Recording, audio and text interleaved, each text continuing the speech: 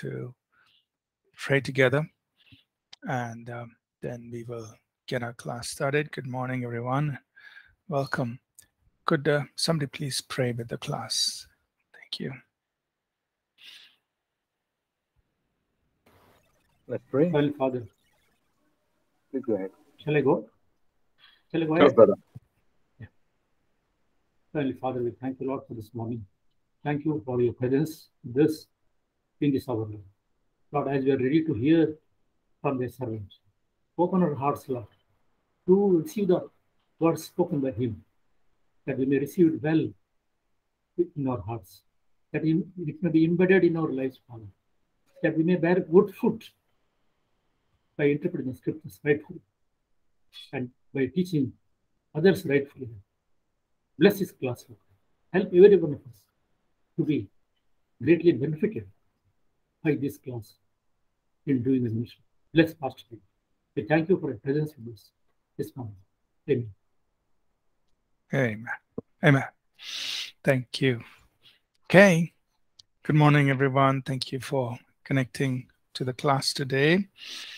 Um, we are in the last section of this course on interpreting scripture, where we are dealing with difficult topics and passages uh, intentionally so that we can discuss those topics, those passages, and um, see how to correctly understand those topics and those passages. Uh, our goal is to apply all that we learned on uh, on on on interpreting scripture. These are the guidelines um, that we use when we interpret scripture. So our goal is to use those guidelines and help us address uh, difficult topics and difficult passages.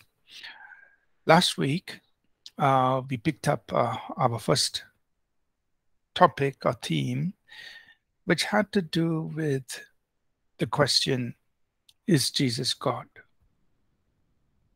And uh, connected to that, uh, the related questions are you know, what does it mean for Jesus to be Son of God or uh, to be begotten of the Father?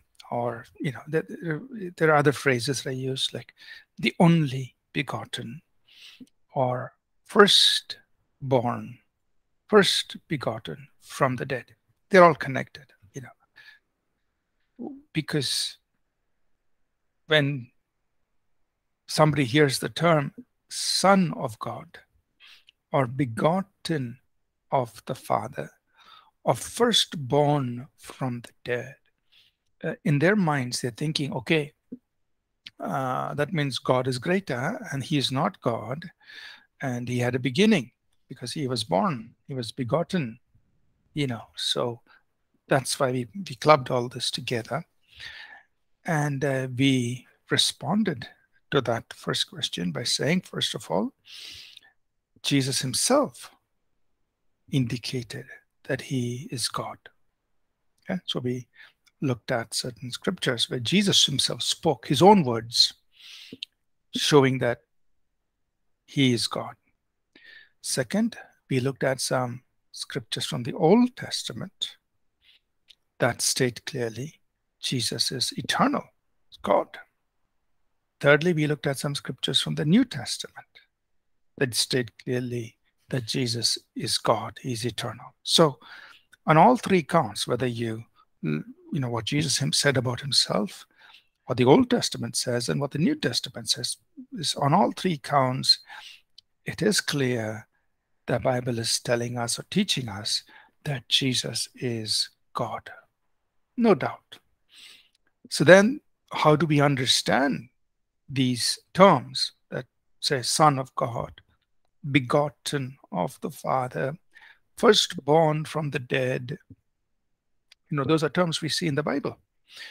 Uh, how do we understand that? So then we said, okay, these things, these terms, which apply to Jesus, they're talking about his incarnation and the deity putting on humanity. So, in that context, the term Son of God, begotten of the Father, res, uh, in his resurrection, firstborn from the dead. So, in that context, these terms must be understood and they make they make complete sense. that There's nothing contradictory to the fact that he is deity. But when he chose to become a man, he chose to walk as a son to the Father. So he's called the Son of God. And he came forth from the Father into the earth as a human being. So he, he referred to that as being begotten of the Father, or the only begotten of the Father. So there's nothing wrong with that. He's still deity. It hasn't changed the fact that he's God. It's only referring to his incarnation, becoming a man.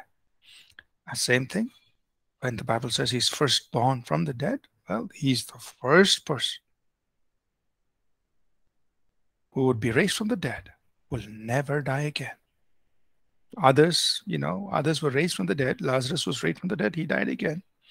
You know, and some others Jesus raised, they all died. But here is the first one who conquered death, rose up in his humanity. He was human, but he conquered death, deity and humanity together. Right? So we understood that. Uh, that's first thing. Now, today we will start off with another topic, which is the Trinity.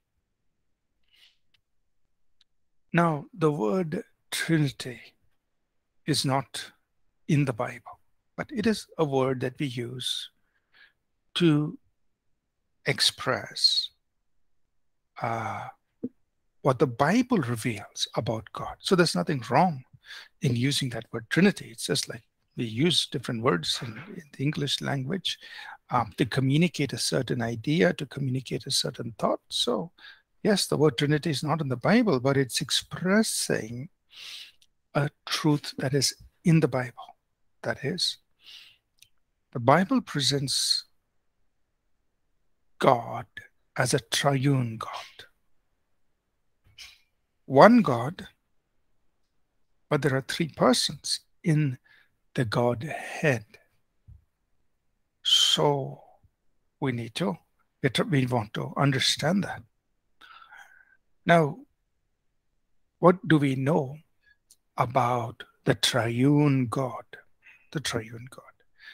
And uh, again, this is not a full in depth teaching on the Trinity, but if we want to, in a very concise way, explain or under, try to understand to whatever extent we can uh, about the triune God. So, in Genesis chapter 1, the very beginning, you know, uh, we see this when God said, Let us make man in our own image. This is Genesis 126. You know, uh, it's very interesting. Genesis 126. Let us make man in our own image. Now, if somebody didn't want to get into any kind of controversy and just to write something very easy, you know, he could have written, God said, Let me make man in my own image and my likeness then there would be no controversy. But that's not what Moses did. Moses, who wrote the first five books of the Bible, it's very clear. Let and God said, so God is speaking, the God of the Bible is speaking, but he says, let us make man in our image and in our likeness. So this plural, it's not singular, plural let us make man. And so, as we go through uh, the scriptures, uh, there are many places where we see more than one person of the Godhead revealed to us. Right? So, for instance, and I'll just pick out a few references here. If you uh, look at Daniel chapter 7, just look at Daniel 7 and then also Acts, um, uh, Daniel chapter 7. Go with me to Daniel 7. Daniel's having a vision of heaven. And uh, in verse um, Daniel 7, verse 9, he says, I watched till thrones were put in place and the Ancient of Days was seated. Daniel 7, verse 9. The Ancient of Days was seated. So this is God the Father, the Ancient of Days. But then, verse 13, he says, I was watching in the night visions, and behold, one like the Son of Man coming in the clouds of heaven. He came to the Ancient of Days, and they brought him near before him. So, there's the Ancient of Days sitting on his throne, uh, which is which we read in verse 9 of Daniel chapter 7. And there is the Son of Man who is brought before him, another person. Now, this Son of Man, Jesus referred to himself um, as the Son of Man. That is, he was referring to Daniel 7:13. And to him, you know, when you read chapter 7, to the Son of Man was given all the dominions of the kingdoms. So you see, two distinct persons. There's God the Father, God the Son. So, like this, there are several other scriptures. We stop over in John chapter 1. I think we, we looked at this even last uh, week. It says, In the beginning was the Word. The Word was with God, and the Word was God. So the Word, the eternal Word, he was with God, God the Father, and the Word was God. He was in the beginning with God. Right? So there are two persons already identified here. Even in Jesus' high priestly prayer in John 17 and verse 5, uh, Jesus prayed and he says, Father, glorify me with the glory which I had with you before the world was. John 17, verse 5. You know, the glory which I had with you before the world was. So the Father is in heaven, Jesus is on earth, he's talking. He says, I had the glory with you before the beginning of creation. So two persons already identified. Right? And then when you come into Acts, Acts chapter 5, we know when uh, Peter was rebuking Ananias, uh, and this is with reference to the Holy Spirit. You know, um, uh, in Acts 5, verse 3, he says, You know, Ananias, you have uh, lied to the Holy Spirit. And, uh, and then in verse 4, Acts 5, verse 4, he says, You have not lied to men, but to God. So here it's very clear. The Holy Spirit is God. So he says, You lie to the Holy Spirit, you lie to God. Then the Holy Spirit is God. Or in Acts 7, when Stephen is being stoned, and then verse 55, uh, we see Acts 7:55, Stephen is full of the Holy Spirit, is looking into heaven. He sees Jesus standing at the right hand of God. So Acts 7:55, the three persons of the Godhead are there: the Holy Spirit, Jesus, God. Holy Spirit in Stephen, Jesus at the right hand of God the Father, standing at the right hand of God the Father. Three persons. So, how should we understand the Trinity? how do we understand it? And, and I just want to share these thoughts and then, you know, we'll take questions as well. Now, sometimes, sometimes in some books, uh, you may read something like this. If you have water, water can be in three states. water can be solid, ice, water can be liquid or a fluid, and water can be in a gaseous state, water vapor. It's the same water, but in three states. And so some, some people will try to explain the Trinity like this. But actually, I, I don't like this illustration. I think because it's a wrong illustration. Because the Bible is not talking about God changing states, like becoming solid, liquid, and gas. He's not changing states. No. The Bible is talking about three persons God the Father, the eternal Word, God the Holy Spirit. It's not like God is changing states. Suddenly he's solid, suddenly liquid. You know, he, he's, his form is changing. Nothing. God the Father, he doesn't change his form. He's God the Father. God the eternal Word, we refer to him as God the Son, doesn't change. God the Spirit, he's still a person just like the Father or like the Son. It's not like God is suddenly becoming vapor and that is spirit. No. There are three distinct persons in the Godhead, like we can see through scripture. And I just pointed out a few scriptures. So this illustration of water changing states is not an accurate illustration of, or, or it's not, it's not a good illustration to talk about the Trinity because God is not changing states. There are three distinct persons, and but one God. That's one aspect I wanted to address. Then there is another idea that has that you'll also find that attempts to explain the Trinity, which is there is one God, the same God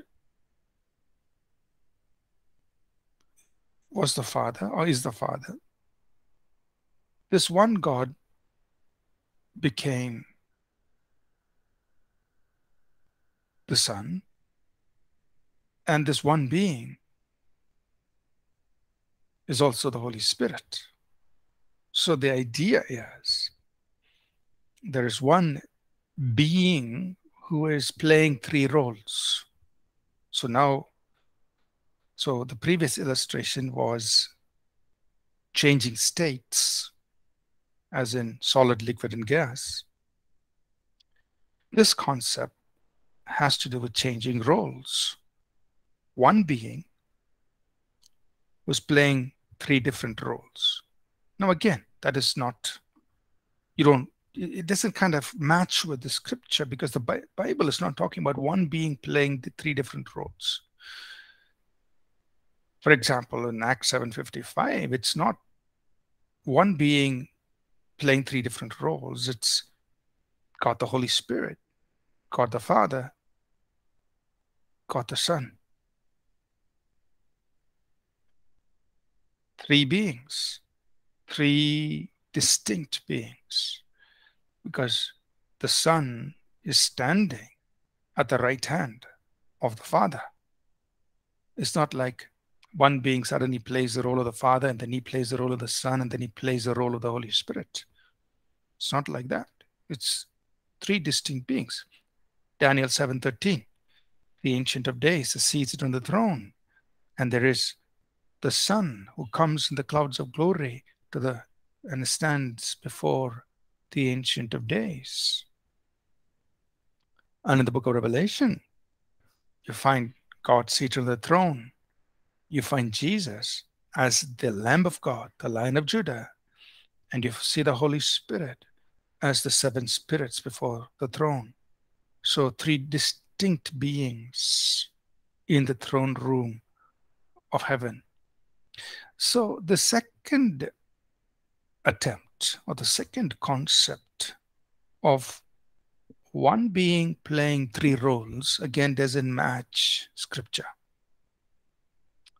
And also, you know, if you ask the question, if it was one being playing three different roles, and that one being incarnated and came to the earth, who was in heaven? Or, as we read in scripture, the Son was anointed by the Spirit. So if that one being became the Son, and that one being also has to play the role of the Spirit, how can he anoint himself? And if that one being was crucified and was buried and went down and he was cut off from the Father, to whom was the Son saying, My, fa- my God, my God, why have you forsaken me? Because he's here on the cross. So this whole this whole narrative or this whole uh, attempt to explain the Trinity as one being playing three different roles does not match up with what we are seeing in Scripture. But instead, what we can say is this we see clearly in Scripture three distinct beings God the Father, God the Son, God the Holy Spirit. And yet they are one. They're one in heart and they're perfect harmony. There is no contradiction, nothing in between. So when God said, Let us make man, there was perfect harmony, perfect unity. When God planned before time, when He planned the ages, there was perfect harmony, perfect unity. There was perfect love in the Trinity or in the triune Godhead God the Father, God the Son, God the Holy Spirit. Perfect. So, one God, as in this Godhead, is one.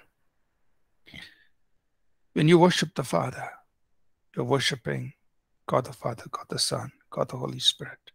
They are not in any form of competition. When you say, Jesus, I love you, you are loving the whole triune Godhead. And you say, Holy Spirit, I love you, you're loving the Godhead. And say, Father, I love you, you're loving the Godhead. There's no competition. There's perfect unity. And that's why we say one God. One God. The Godhead. Each person of the Godhead is fully God. So Jesus is not one third God. Holy Spirit is not one third God. No. All of God is fully expressed in the eternal Word, the Son of God. All of God is fully expressed in God the Holy Spirit. All of the Godhead is fully expressed in God the Father. So it's we should not think that Jesus is one third God or uh, uh, Holy Spirit is one third God. No. All of God is fully expressed in the Godhead. Jesus is fully God. The Father is fully God. The Spirit is fully God. All of the Godhead is expressed through each person of the Godhead. And that's why the Bible refers to Jesus or the Holy Spirit, for example. The Holy Spirit is referred to as the glory of the Father. The Holy Spirit, God the Holy Spirit, is referred to as the glory of the Father. That's Romans chapter 6 and uh, verse 11. You know, he's referred to as the glory of the Father. The Holy Spirit is also referred to as the Spirit of Christ. Hmm? The Holy Spirit is referred to as the Spirit of Christ. So, uh, because every person the Godhead fully represents the Godhead. That's why the Bible says that about Christ, it says, In him the fullness of the Godhead dwells bodily. So, God the Son, that is Jesus Christ, in him dwells the fullness of the Godhead bodily. So now he has this glorified body, and in that glorified body, there is the fullness of the Godhead. all of God is in God the Son. All of God is in the God the Father. All of God is in God the Spirit. So every person of the Godhead fully represents the Godhead. So when we worship God the Father, God the Son, God the Holy Spirit, you're worshiping God, the Godhead. So they're co equal. So we say they are co equal, they coexist together, and they are one God. So this is some things that we can say and understand about the triune God as given to us in the Bible. Okay. Do we have all the answers? Uh, uh, no. But this is what we can understand from what we see in Scripture about the Trinity, the triune God of the Bible. Now, this is very important because in uh, First John, and John is very, very clear about this. You know, he says, um, uh, verse 7, First John 5 7, there are three that bear witness in heaven the Father, the Word, and the Holy Spirit. And these three are one. First John 5 7. There are three that bear witness in heaven Father, the Word, and the Spirit. And these three are one. And it is important that um, this God, uh, we, we, we embrace this God of the Bible, because in First John 4 4, 1 John 4, uh, you know, he talks about this, verse 2, he says, You know the Spirit of God. Every spirit that confesses that Jesus Christ has come in the fleshes of God. Verse 3 Every spirit that does not confess that Jesus Christ has come in the flesh is not of God. So, this is very important that we acknowledge the God of the Bible, the way the Bible presents to us. That God came in the flesh as a man. And we acknowledge and uh, every spirit that acknowledges that is of God. Okay. So, any thoughts, any questions about the Trinity? I just I, I, try to put together what the Bible says about the Trinity. Um, uh, uh, uh, I'm not, you know, I don't claim to have a complete exam uh, answer, but this is what we see in scripture. Any questions on that? Is it clear? Any doubts? Would you be able to explain it to somebody if they asked you about the Trinity or the triune God of the Bible? Would you be able to explain it? Any questions?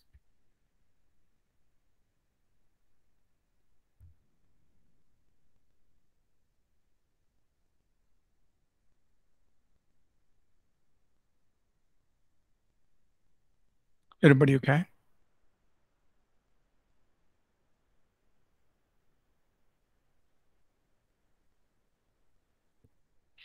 So John Paul asks a question.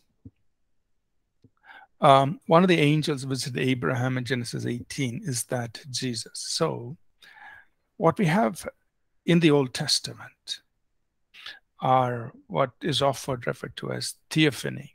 That means God appearing as a man not as in the incarnation, where he took on human physical form, but he appears either as an angel, it's referred to many times with the capital A. So you'd have it in the case of Abraham, in the case of Joshua, in the case of some of the other prophets like Zechariah and so on. You know, they see an angel, but not an angel with a small a, but an angel with a capital A. That means God is coming like this heavenly being to speak to these people. So usually it's with a capital A, or like Jacob wrestled with God, you know, the Bible says. So like this, right? So we have uh, other examples in Daniel and so on. So that is God Himself coming as an angel. And many, uh, so we normally say that this is Jesus' appearance in the Old Testament as the angel with a capital A. That's one. Some cases it's just uh, stated as God appeared to so and so, right? Uh, so that we refer to as a theophany when God appears to someone as, as a man. And, uh, and this could be God the Father or, or it could be God the Son uh, appearing either as an angel or as a man. Uh, uh, uh, now, it is not incarnation because they didn't take on human form, but they appear in a form of an angel or a man. And so, um, the in most of the cases, we say, yeah, this is Jesus appearing as an angel or as a man, the form or in the appearance of that. Okay, so it is Jesus, the, um, the, the eternal word, making himself visible to these people. Okay.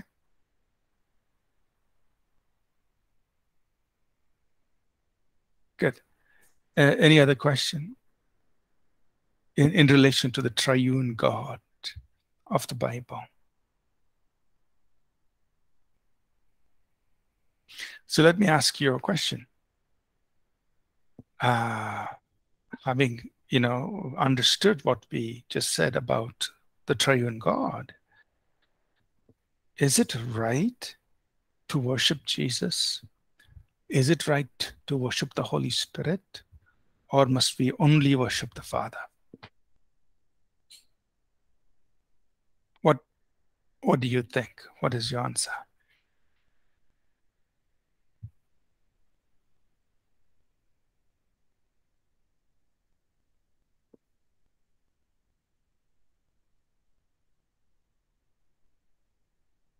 Can you say, Holy, uh, can you say, Holy Spirit, I worship you? Or is that wrong to say that?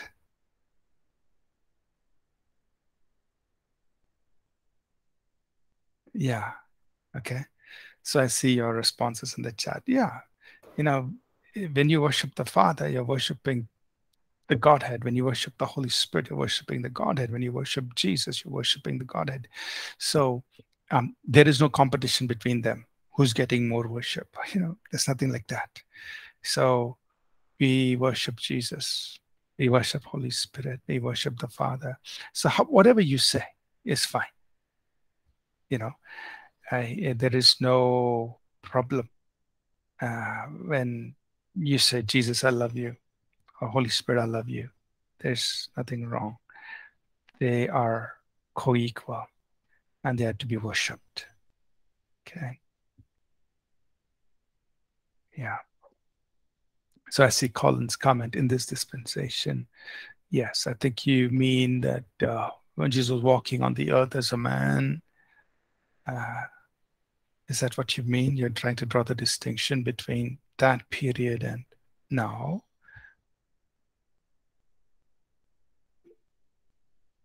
Go ahead, Collins. Pastor, that is like bisecting my mind. Clearly, that's what I meant. Mm-hmm. Okay. That's fine. Okay, I see another question. People say we should stay away from talking to Jehovah's Witness because, because they can manipulate well. How do we deal if we come across such a person? Um, okay, so John is asking a question about Jehovah's Witnesses and how to deal with them. And you know let's let's let's say this that usually it's very difficult to have a conversation with uh, a, a, Jehovah's Witness because uh, they have been trained pretty well to you know to to to uh, counteract and to fight their case and uh, and at least from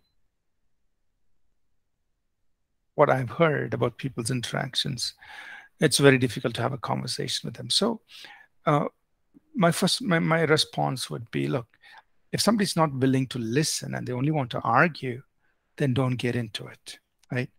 Don't even waste time. Paul told us in uh, First Timothy chapter two, he said, you know, um, uh, oh, sorry, this is in Second Timothy, Second Timothy chapter two, right? He says, uh, um, you know, Second Timothy two twenty four, that the servant of the Lord must not quarrel, and uh, but be gentle. And in verse twenty three, the previous verse, he says, avoid uh, foolish and ignorant disputes because they only cause strife.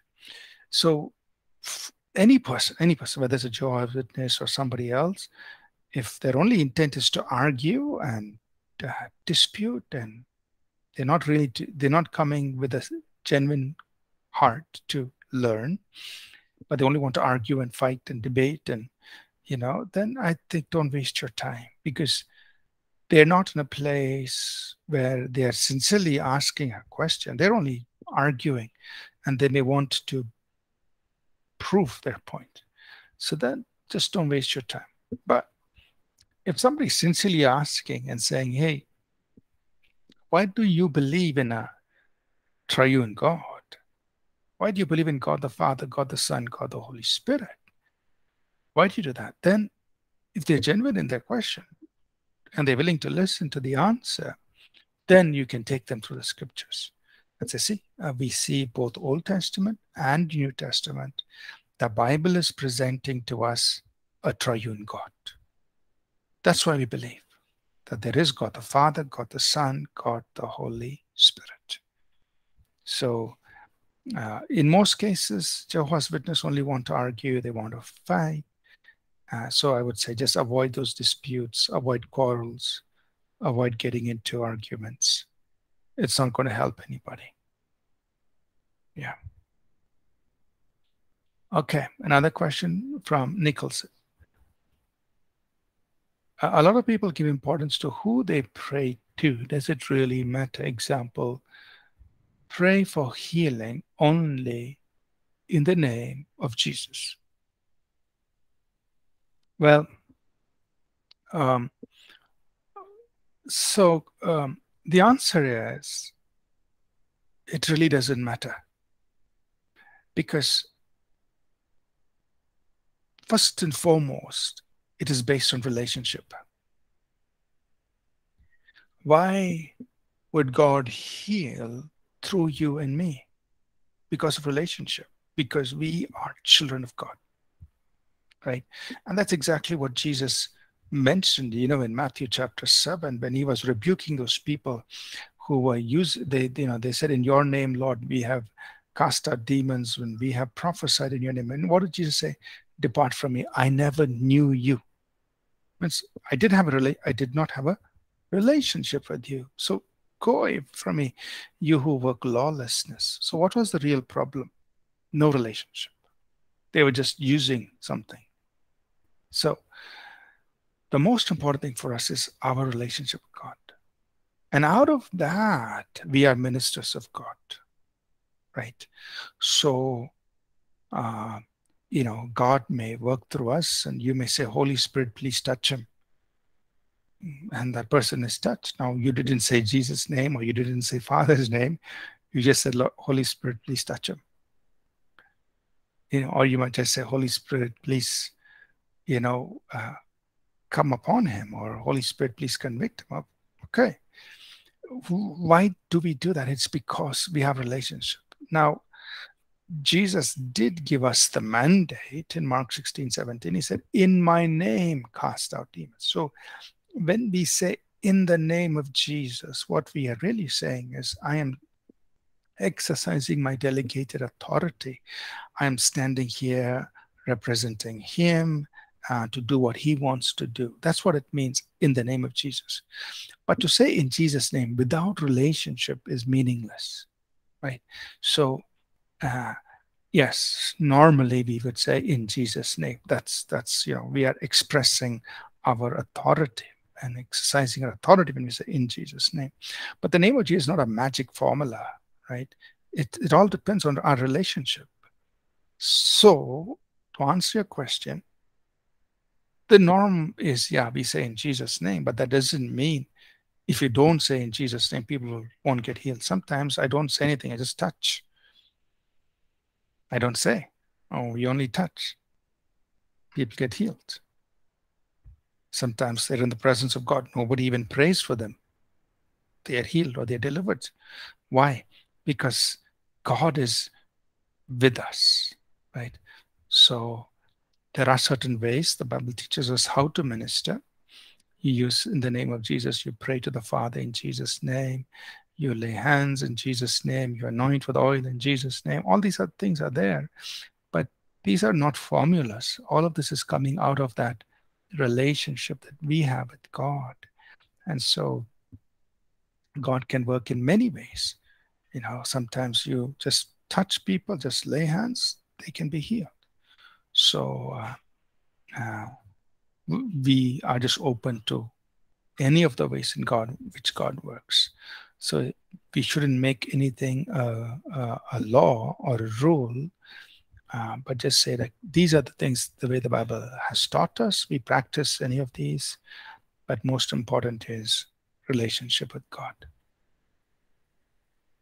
Okay. Yeah. Okay. Thank you. So, so what we've done this this session is we've tried to um, understand to whatever extent we can about the triune God, the Trinity. That is a difficult subject. It is a difficult topic. It's not easy, and uh, but uh, our goal is just just stay with what the Bible says, stay with the scriptures, and take it for what it says you know, and uh, we also pointed out two common uh, attempts to try and explain the Trinity, but there are shortfalls in that. One is the using the illustration of water in three states. The other one is using one person in three roles, uh, which again has its limitation. So it's just best just to stay with the scriptures and say this is what the scripture says about the Godhead, about the triune God of the Bible, and that's all we can say. Uh, we and that's how we will worship God. Okay. Now, I want to move to um, another common uh, difficulty in uh, uh in the scriptures, and this is seemingly contradictory gospel accounts. How can we explain that? Okay, and I will give you the notes on this. I'm just, I, I have some outline. Uh, uh, and, uh, you know, some people say, hey, if you read the Gospels, there seems to be contradiction between certain stories in the Gospels. So, one example is the demoniac of Gadara. Hmm, one example. Give you the example. So, we have Matthew, Mark, and Luke. So, the question that people ask is so the demoniac, demoniac of Gadara, was it one person, one demon possessed man or was it two demon possessed man people okay and then they will say look there is a contradiction in the bible. The bible is not accurate right? Because in in, in the gospel of mark there is um, this uh, this account of this man. It says a man right? There is one man in the Gospel of Luke, chapter 8. It talks about uh, what exactly? Verse 26. So it's talking about two, right? Uh, Luke chapter 8. Yeah. Okay, Luke 8 also says, what's it? Yeah, Luke. Okay. Luke 8 also, Luke also says there was one man. I think it's Matthew says to let's go to Matthew 9. Matthew 8, sorry. Okay. Matthew chapter 8. And uh, so Matthew 8 28. Two demon possessed. Okay. So Matthew says there were two men. Mark and Luke say there was one man. Okay. But the rest of the story, uh, or the rest of the incident in all the three gospels is similar, which is the demons speak and say, We are legion.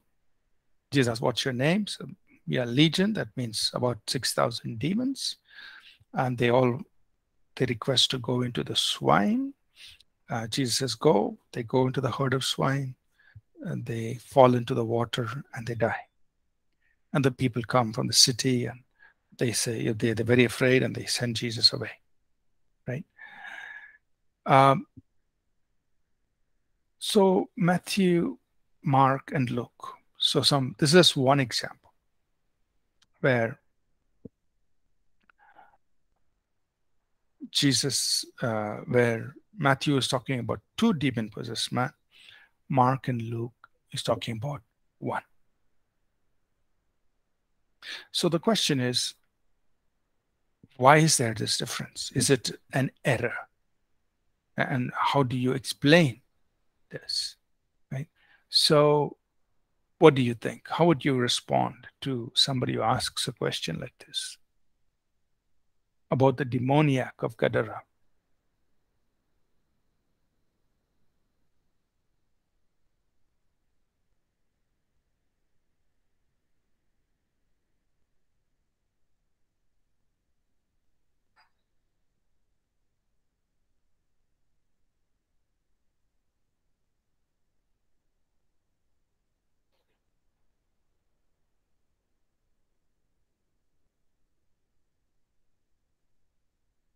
Okay.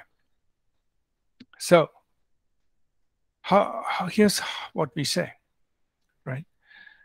Um, so Matthew said there are two men who came demon possessed.